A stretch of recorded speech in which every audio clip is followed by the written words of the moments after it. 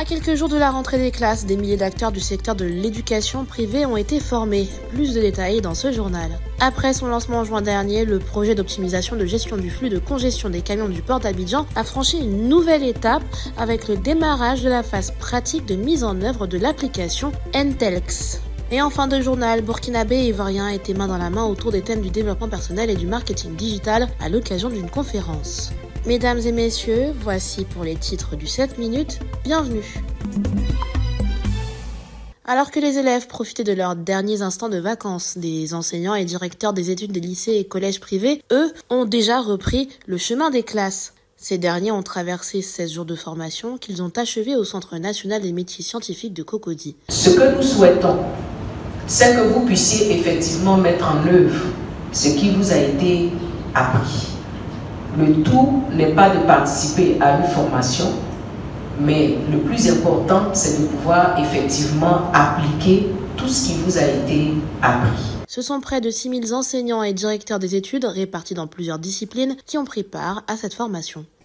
Permettez-nous vous exprimer notre profonde gratitude pour l'engagement indéfectible que vous manifestez envers l'éducation en Côte d'Ivoire. Votre vision éclairée et votre initiative audacieuse, particulièrement en matière de formation continue, traduisent votre ferme volonté de renforcer les capacités de notre système éducatif et de restaurer son éclat d'attente. Ces acteurs du secteur de l'éducation ont été formés sur 8 modules pour les enseignants et 15 pour les directeurs des études, et ce par près de 340 formateurs répartis dans 4 centres de formation, à savoir Abidjan, Dalois, Korogo et Boaké. Depuis la création de cette formation, ce sont près de 47 565 auditeurs qui ont été formés.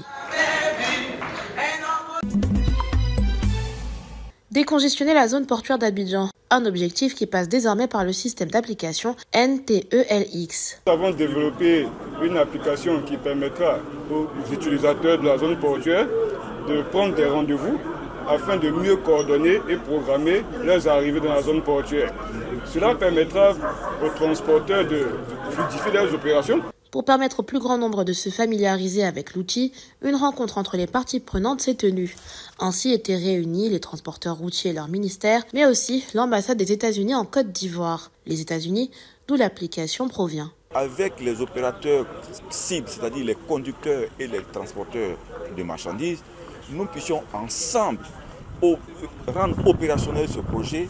Et c'était un plaisir aujourd'hui d'avoir l'occasion de parler avec eux directement et d'expliquer que les technologies américaines sont des technologies dynamiques qui répondent à leurs besoins.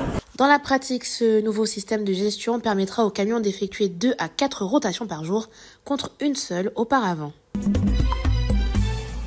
La mairie de Yopougon a été le théâtre d'une conférence visant à renforcer les liens entre Ouagadougou et Abidjan. Le développement personnel et le marketing digital étaient au menu d'une conférence réunissant des experts autour d'une cause commune, l'élévation des compétences de la jeunesse africaine. En termes de thématique, quand on vous parle de développement personnel, il faut pouvoir se développer soi-même. On dit pour faire changer les choses, il faut se faire changer toi-même d'abord. Est-ce que vous voyez? Alors, secondairement aussi, le confrère a donc échangé sur les bienfaits, les avantages aujourd'hui du, numérique, du marketing digital. De savoir que si aujourd'hui nous ne nous convertissons pas, nous ne changeons pas nos mentalités, nos manières de faire, alors demain nous serons des personnes au chômage et on va se plaindre à qui on veut alors que ce n'est pas l'objectif aujourd'hui pour la jeunesse. À travers des ateliers interactifs et des présentations dynamiques, les experts ont mis en avant l'importance du développement personnel comme socle du succès dans le monde professionnel. Le marketing digital a également été au cœur des discussions avec une présentation des dernières tendances et des stratégies efficaces pour tirer parti des opportunités offertes par l'économie numérique. C'est des jeunes donc, qui sont venus distiller cette formation et donc euh, l'apprentissage étant, il était bon que chacun donc, ouvre donc son calepin et prenne des notes parce qu'une telle formation donc, sur le développement personnel va donc euh, faire en sorte que ces jeunes-là puissent avoir donc, des rudiments pour répondre donc, aux défis de demain. Et donc au nom du maire de la commune de Yopougon, nous étions heureux parce que c'est les jeunes de Yopougon qui sont venus donc, en grand nombre pour venir écouter cette formation-là. Et donc euh, les retombées donc, seront donc les jeunes de Côte d'Ivoire Cet événement a permis de renforcer les liens entre les experts ivoiriens et burkinabés, unissant leurs efforts pour soutenir le développement des compétences de la jeunesse africaine. La rencontre de Yopougon s'inscrit dans une série d'initiatives visant à promouvoir l'autonomisation des jeunes à travers le continent. Ils se sont tous réunis pour le lancement de la première édition du tournoi de football de Kanzra, dénommé Ligue Mudesque. C'était à l'initiative de la mutuelle de développement de la sous-préfecture de Kanzra dans le département de Zouenoula, en présence des autorités locales, mais aussi d'anciennes gloires du football. L'occupation saine des jeunes, qui est un enjeu majeur, euh, qui a été prise en compte par euh, la mutuelle de développement de la sous-préfecture de Kanzra, que je voudrais remercier encore. C'est au total 16 équipes issues de Zouenoula, Kanzra, Zazran et Bediala, réparties en 4 poules de 4 équipes qui participent à cet événement. L'équipe vainqueur repart avec une somme de plus d'un million de francs CFA, le deuxième 500 000 francs CFA et 1 million de francs CFA qui seront repartis entre les autres équipes. C'est la fin de cette édition du 7 minutes. Merci de l'avoir suivi. L'actualité se poursuit sur cette info et sur cette info.ci.